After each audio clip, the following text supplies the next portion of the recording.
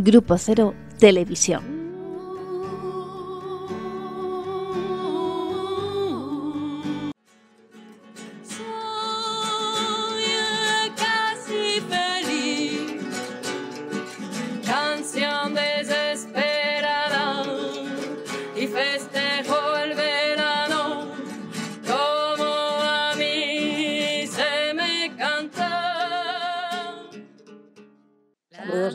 Amigas y amigas y amigas y amigas y solo amigas.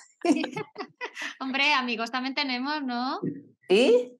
Bueno, venga. O, es la parte femenina de nuestros Es que son muy quejicas, son muy quejicas los amigos. Dicen, ay, que nunca me incluyes.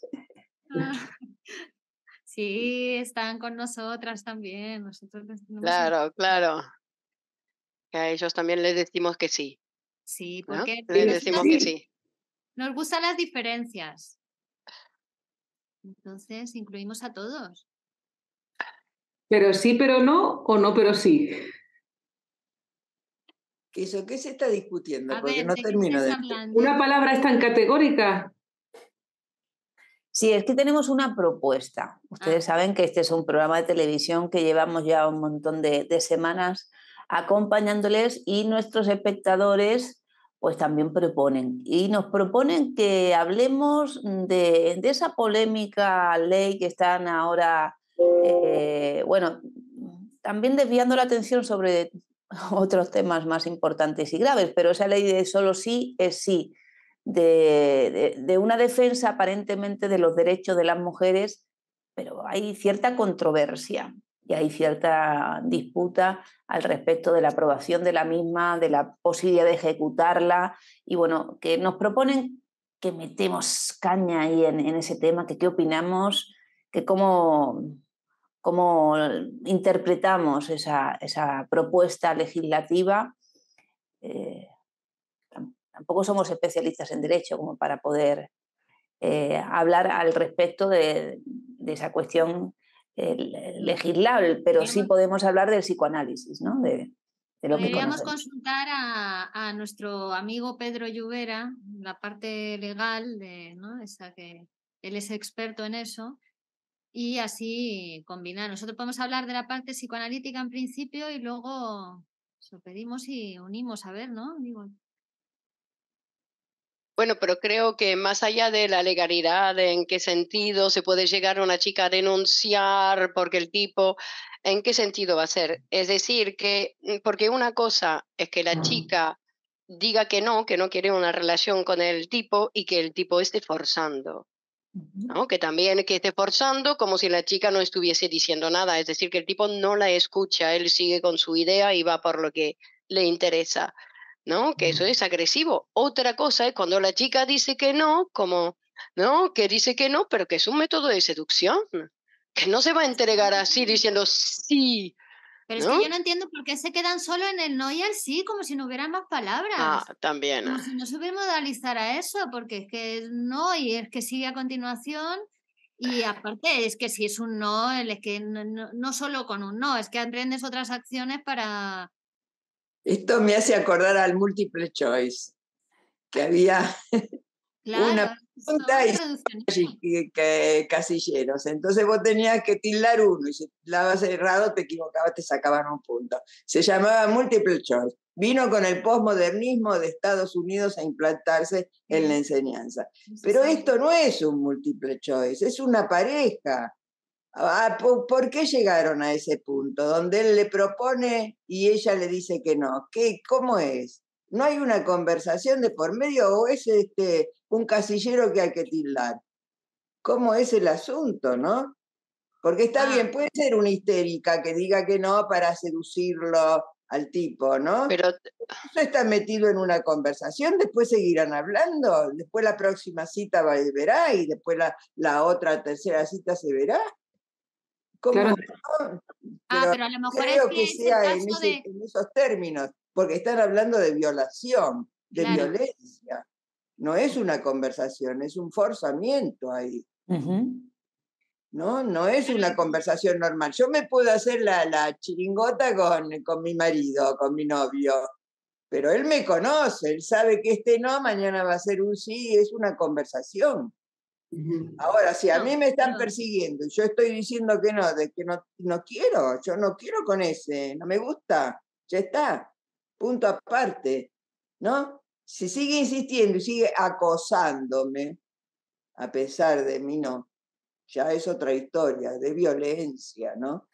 yo creo que eso ya Pero está ¿dónde está el límite? ¿Dónde está eso ya está contemplado la ley. Es decir, que, que, que, haya abuso y que haya intromisión de la intimidad y que haya... Eso ya está contemplado en la ley. Yo creo que la diferencia entonces está en el, en el, consentimiento, si una persona no se conoce de nada y si hay como una relación, como una historia previa y ahí hay como una ambigüedad, ¿no? Y ahí es donde uno tiene que tratar de demostrar si le dijo que sí o le dijo que no. Y claro, y en la intimidad, ¿cómo muestras eso? Claro, porque si uno la, la palabra de uno contra de otro, ¿no? Claro uno viene a agredirte por la calle que no tiene ninguna relación contigo. Y eh, no, es, no, es, que le vayas a decir, no, es que le pegas una patada en los huevos, con perdón. Claro, Y, no es, digo, que, que es otra cosa.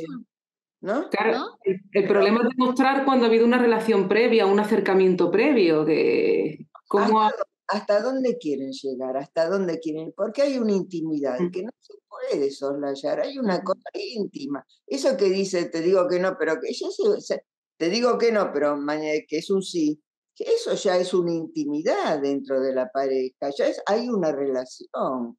Vos le podés decir a tu novio que no, y, pero mañana te levantas. Bueno, pero también circula entre los hombres la idea que la chica cuando dice que no, no hay que tomarlo al pie de la letra. Bueno, están equivocados. Después hay que mandarle un ramo de flor. Bueno, pero te quiero decir que a la chica hay que seducirla. Que al principio dice que no. Y después, eh, si haces el trabajo de, de seducirla, puedes transformar lo que fue un no en un sí. Bueno, pero, es una conversación. Ya no es un ataque claro. Claro, pero hay que enseñar a la persona a conversar. Claro, es que se ah, están... Yo entiendo que la ley se refiere a esas personas que no saben posponer la satisfacción de su deseo, que bueno, no pero saben son enfermos que no saben hacer un esfuerzo de seducción, que también los hay, bestias, que la chica le dice que no porque todavía no se Violadores, y bueno, son violadores. Funcionales. no claro, como el que da 40 puñaladas. Está atrapado por la pulsión que no tiene ninguna razón de por medio ni ningún sentido. Da 40, si con una ya la mató. ¿Por qué le da 40 puñaladas? Pulsión, ¿no? No, está capturado por una, por una pasión ese, ya está loco total. Claro. Pero digo que hay que diferenciar, ¿no? Lo que es una cosa violencia y lo que es el juego. Y, luego también hay que diferenciar otra cosa, la interpretación de la ley, de ese trabajo eh, de los abogados y ese trabajo de la interpretación del juez, porque da 40 puñaladas y luego dice, no, es que la mató con la primera y lo siguiente ya fue que hay un juego, hay un juego de interpretación que también es aprovechado Mm, bueno, para tironear la sentencia para un lado o para otro. Y que muchas veces está determinado por la capacidad económica del cliente, por ejemplo, o mm, por los sentimientos de culpa de, la víctima o del acusado, yo diría. Eh, a veces hay personas inocentes que son condenadas. Claro. Y, también esta ley se forjó a, partir de la controversia que hubo con, la manada, ¿no? Que ahí fue donde se empezó a, desarrollar toda esta controversia con las leyes, ¿no? Y, y, fue en un momento en el que ahí querían demostrar que la víctima dio el consentimiento que no la dio. Entonces ahí en esa ambigüedad han querido mm, hacer esta ley para, para que se vea que el consentimiento es el sí o el no. Pero claro, vuelve otra vez la ambigüedad que siempre está, porque mm, por mucho que quieran, no, no hay manera de demostrar ciertas posiciones. Claro, porque eso es interesante, ¿no? Como para decir, quizás hay chicas que quieren ser violadas, pero el chico tiene que saber si quiere ser un violador. Si quiere Claro, claro porque es verdad que la chica, hay chicas que están buscando eso, que eh, digo que eso existe. Pero de ahí a entonces transformar todos los hombres en violadores porque hay una que quiere realizar su fantasía, eh, además que es una fantasía, una cosa. Porque ponemos en juego muchas cosas. Por ejemplo, eso aconteció en los Sanfermines, como muchas otras fiestas. Hay gente que va específicamente para que pasen cosas diferentes a las cotidianas, entre ellas estas situaciones. Y eso está fomentado y eso está, ¿no? Beben para perder el control. Pero esa moral, lo que estás diciendo, esa moral, ¿no? Porque reconocer la que también. No, pero sus comportamientos son amorales. Sus comportamientos son amorales. de muerte, que hay tendencia a, pasarlo mal, ¿no? A, al dolor, a la enfermedad. Admitir eso. Quiero, decir una cosa. Desde el punto de vista de, la, de la, del psicoanálisis o de la conformación psíquica del sujeto, hay una fantasía fundamental en la niña que es de, la de ser violada por el padre, fantasía fundamental en el ingreso a la pubertad. Y hay una fantasía en el varón también, ¿eh? que es ser violado por el padre, pero son fantasías. La violación está en el ser humano, pero son fantasías. No hay que llevarlas a cabo. Llevar la fantasía a la realidad, eso ya tiene que ser juzgado por la razón, por la conciencia por, el, juez, juicio este porque parece... ¿eh? Es que, es que, claro, vamos. Está bien, pero eh, también está la pulsión de muerte, también está el matar en la estructura psíquica. El asesinato del padre está en la estructura psíquica, pero no vamos a estar matando al padre, tenemos que poder sustituir. ¿No? Mato al siervo padre, y ahí tenés la palabra padre si querés, pero yo soy un ser civilizado, tengo que poder dominar esas pasiones que son locas, que no admiten ningún límite, ¿no? Pero son cosas estructurales del ser humano. Si se ponen en juego en la realidad objetiva, está mal, ya traspasó, se pinchó la vena, ya traspasó, la sangre se derramó, ya está, ya rompió el límite es de lo psíquico, no es de la realidad objetiva. Entonces hay que considerar eso también, ¿no? ¿Por qué? ¿Por qué se cometen los crímenes? ¿Por qué se cometen todos estos accidentes? Por falta de civilización, ¿no? Mm. ¿Eh? Mm. Por falta de... Civilización. Bueno, ponerle que sí, ponerle sí, claro. De civilizar la, el animal. La bestia, la bestia que somos. Una cosa es que te escribas un relato salvaje y otra es que lo lleves a cabo en la vida, ¿no? Claro. claro. Claro, ¿no? Es así. una, cosa es decirle, te mato, tengo ganas de matarte hoy, me venís mal, hoy me cae mal, tengo ganas de matarte. Pero otra cosa es matarlo, de verdad. ¿No? Es el acting. Claro. Mm. Es una actuación. Claro que hay que temer menos de la persona que es capaz de decirlo que de la persona que no dice ni mu. Claro, porque son palabras y a las palabras se las lleva el viento.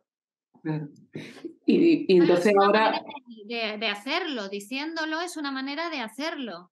Claro. No hacerlo, ya con decirlo, eh, para el aparato psíquico es lo mismo, como pero es más civilizado, al otro no le dañas, no, Claro, es que hay, hay, que hacer un trabajo de civilización permanentemente en cada decisión que tomamos, ¿no? Porque digo, también es cada acto, digo que en diferentes cantidades o en diferentes situaciones hay actos, ¿no? Donde uno es claro.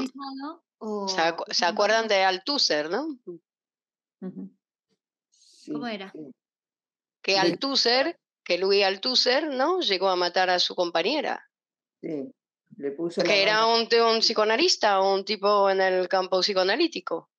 No, pero mal psicoanalizado. Bueno, yo he leído su biografía. El grupo cero dice que ahí se le fuera pinza. bueno, por supuesto que se le fuera pinza, pero ya se le había ido, ¿eh? No sé. Yo estuve leyendo un poco su biografía y no pude seguir. ¿Por? muy racionalista, que explica, que parece, ¿no? Como Sartre. Sí, claro. Digo, gente que no está analizada y que dice, un psicoanalista decía que yo tenía un super yo, no sé qué, no sé cuánto. Y así es su psicoanálisis, digo que... Entonces, gente que no... Eso no nos sirve. Nos sirve el ciudadano. Pero yo pensaba, eh, para retomar un poco la frase de, Virginia, ¿no? Que parece ser que era un, un, escritor, digo, que un tipo muy culto, que ya había publicado muchos libros, que estaba eh, cerca del pensamiento psicoanalítico, digo, y sin embargo, no, ¿no? En, en esa constancia en el trabajo, ¿no? Que nunca nada está ganado.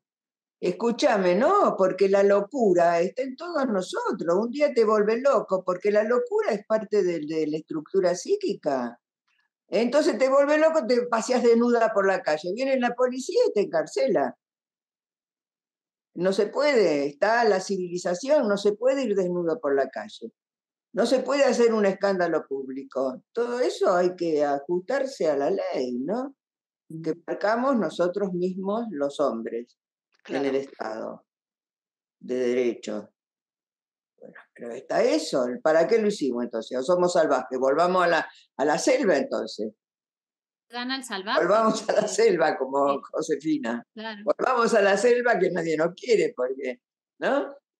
Claro, porque aceptar eso, que una mujer puede decir que no porque es histérica, ¿no? Eso ya es reconocer lo psíquico. Sí. Ya está. Sí, pero a veces lo, utilizan solamente para decir, ¿no? Como eso que dicen, la mujer dice que no, pero en el fondo quiere. Entonces, hago como que no dice nada. ya está negando una enfermedad. En el fondo del gallinero se la montan a la gallina, el gallo. ¿En, el, ¿En qué fondo? ¿Qué, qué, qué herramientas tienen para juzgar el fondo?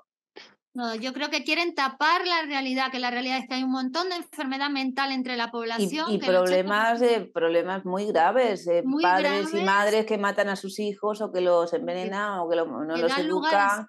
o muchas, muchas situaciones también de, de, maltrato laboral y de injusticias que están aconteciendo y que, que forman parte de una desintegración social que son las que tienen que velar las instituciones para cuidar. Eh, y, esa ¿no? Es como las cuestiones de, del lenguaje inclusivo, es una manera de desviar la cuestión eh, de, cosas verdaderamente importantes. Eh, que la cuestión de la reproducción determinada por nuestra especie es una y otra cuestión es la vida sexual de cada uno en su intimidad.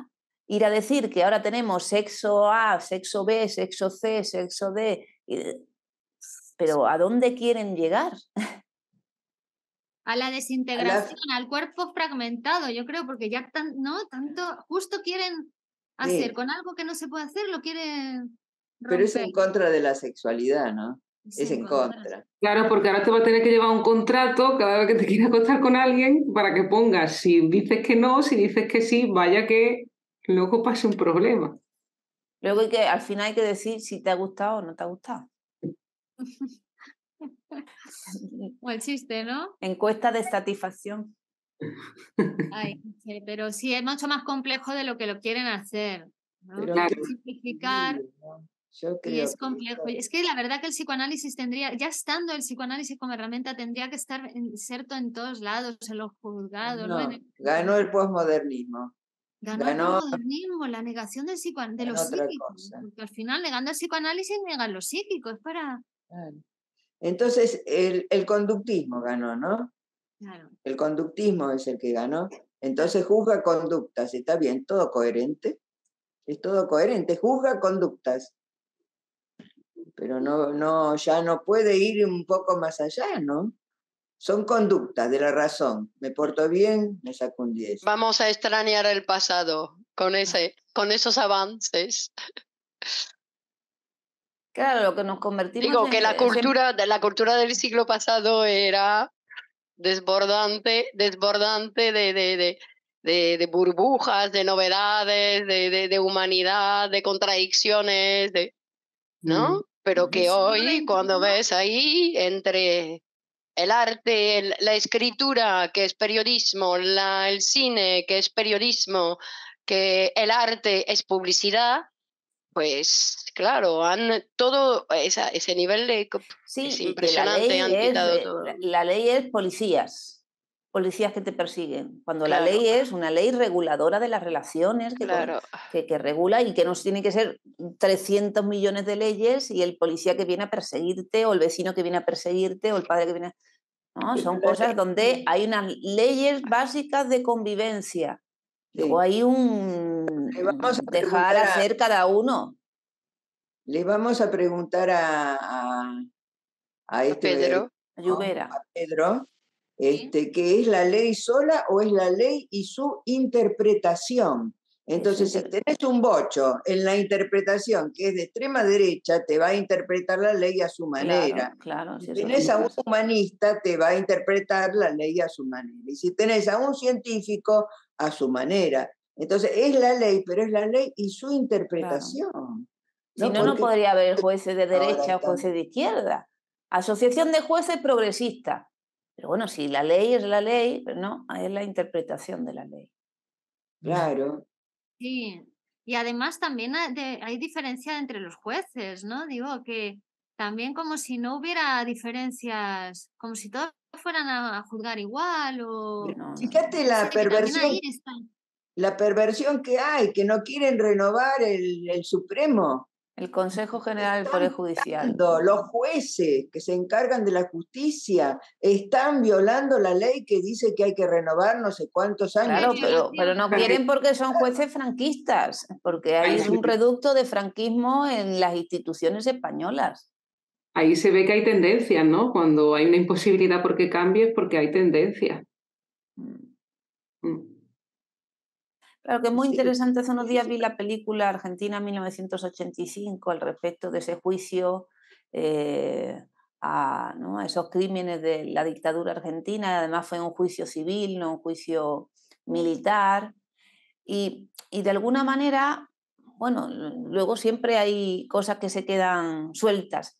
Pero aquí en España no ha habido, no ha habido juicio, no ha habido condena, sigue habiendo una parte de la población que se considera víctima de, bueno, de verdugos, de asesinos, de justicias, y sigue habiendo personas que se han beneficiado de, sus crímenes y de su dictadura para gozar de posiciones eh, ventajosas en la sociedad y son impunes y, controlan además esos, eh, esas organizaciones de poder que tendrían que velar por la ciudadanía.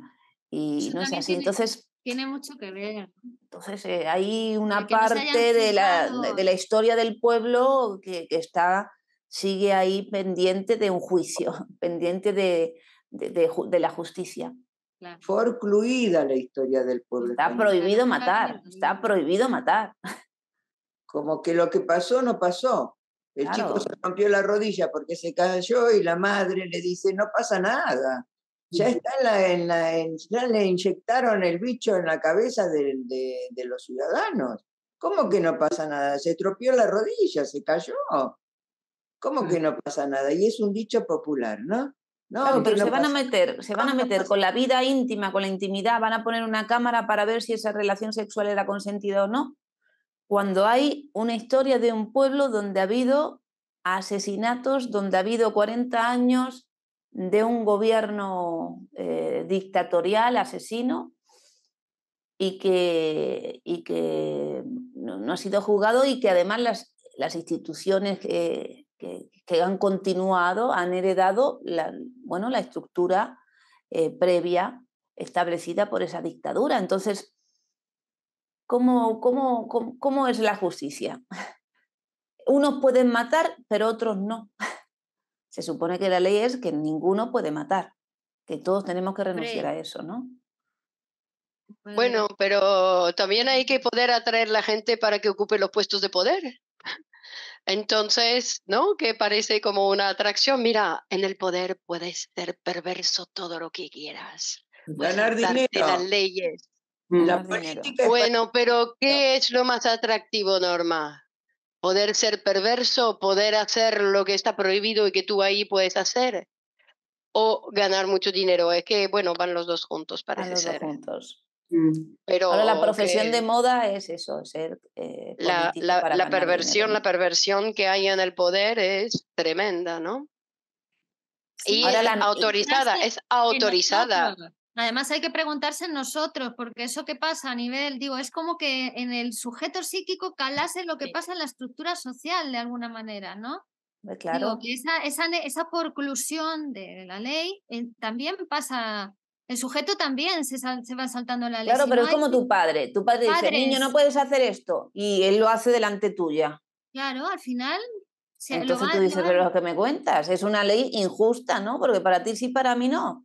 Pues en cuanto yo pueda la voy a hacer. Es como que se disuelve al no cumplirla, ¿no? Es una cosa así, como que... Mm. Que es un ser social. Porque, niño, no hagas eso, no te masturbes en, en público, mastúrbate, pero en tu habitación a puertas cerradas. Eso es la civilización, no es este, es una cosa social lo que pasa.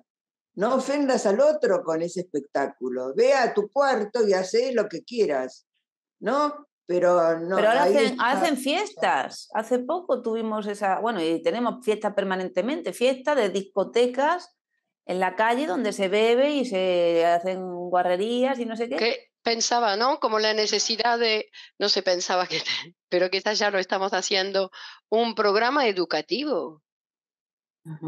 Digo que es una, pero que claro, que las cosas que estamos hablando hoy son cosas básicas. Claro. Que se están saltando cada dos por tres, añitos, cuatro añitos, ¿no? Pero bueno, que hay un trabajo que nosotras en el lugar que, que ocupamos y que hemos decidido ocupar tenemos que hacer de, de, no caer en esa perversión y de seguir transmitiendo esa educación que, que nos han enseñado y que entendemos que es conveniente y precisa para funcionar. Porque no es que sea una opción lo de la perversión. La perversión es una, es una limitación de, de la disposición eh, humana. Es un límite, es un, nuestro aparato psíquico necesita una puntuación para poder vivir. Entonces, esa vida que nos ofrecen es un engaño porque acaba mal, acaba mal. No es que sea una vida mejor, un camino alternativo, es, es un camino eh, donde vas a, vas a morir, pero mal. Es mejor un camino que cada uno vaya eligiendo, pero morir dignamente como un ser humano, con una autorrealización sabiendo que hay cosas a las que uno renunció para poder tener esa vida. Hay que renunciar a cosas. Y, eh, yo estaba pensando en la educación sexual, ¿no? Decíamos, todo, eh, todo el mundo tendría, porque claro, es un importante trabajo de psicoanálisis el que hay que hacer para, ¿no? Porque como es algo que es del aparato también, digamos que, o de los inicios del aparato polimorfo perverso que tuvo que irse eh, poniendo diques, ¿no? Como encauzando eso. Digo que es el trabajo, el único trabajo de, de poder hacerlo, poder contener esos, esa pulsión, es psicoanalizándose, porque educación es muy importante, la educación y en los colegios, que haya educación sexual, pero no educación sexual lo que están diciendo de partir los sexos en no sé cuántos sexos y no sé qué. Esto que estamos hablando es educación sexual, ¿no? Saber los caminos de la sexualidad y cómo uno para llegar a un buen fin, a una buena vida, tiene que seguir un, hay un camino, ¿no? Que es el de civilizarse. Pero, pero claro, el psicoanálisis es necesario. Luego, por ejemplo, viene un, gobernante, que a veces pasa, y dice, intervención en los medios de comunicación, estos contenidos no pueden ir o un, capital privado no puede dominar todas las cadenas de televisión, todas las radios, todas las cosas, eso se llama monopolio ¿no? y manipulación informativa. Entonces rompen eso. Eh, no puede haber ese tipo de canciones, por ejemplo, eh, estoy pensando en el riguitón, ¿no? que todas las canciones son verdaderamente violentas, machistas, incitan a una sexualidad de, un dominio sobre, de una objetivación de, de la mujer y todo esa es la música que, que le proponen a los jóvenes por un, por un interés mercantilista. Entonces, mm. eso no tendría que ser intervenido. No, señores, usted tiene que ganar dinero, pero honradamente, no estropeando la vida de otras personas. Claro.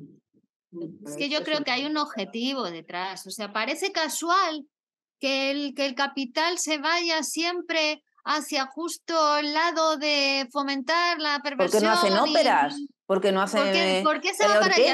el dinero, el dinero viene de todos lados. Si le daría el mismo dinero o más hacer eh, arte, o sea, ¿por qué se va para ese lado? Hay una intencionalidad. Hay un plan. Mira, hay un, hay un chiste, hay un chiste que circulaba durante el COVID que decía, los carteristas del metro amenazan que si se mantiene la distancia de dos metros, se dedicarán a la política.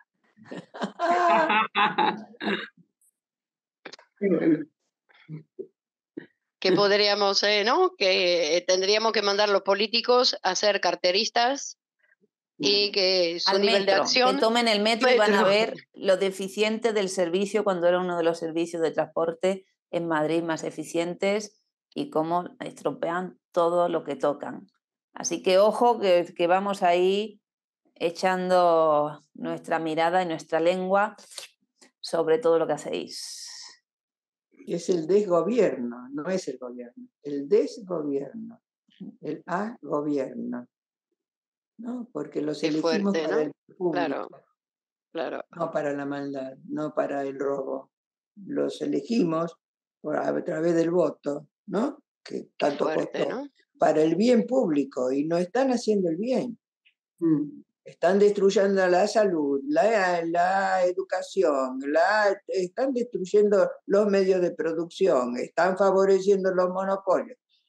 No, no están, no cumplieron, no cumplieron con la propuesta inicial para hacer el bien público.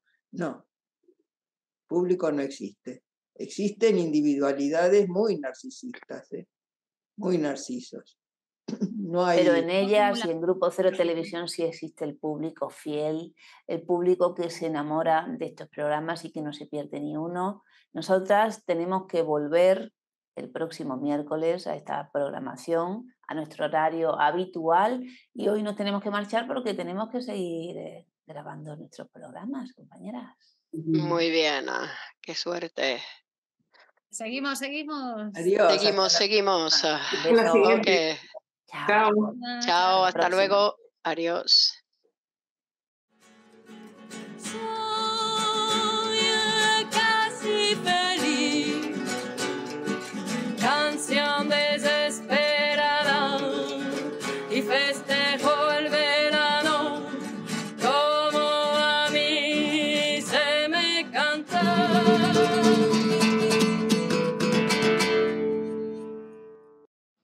¿Sabías que para psicoanalizarse no hace falta estar enfermo?